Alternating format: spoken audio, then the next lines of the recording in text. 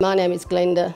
I've lived in this home for nearly 50 years. Bruce helped me greatly through the sale of the home. He was able to guide me through the whole sale and certainly took all the stress out of it for me. The information he, gave to me right from the start was quite a bit on previous sales and how he handled them and what he would do for me as far as presentation.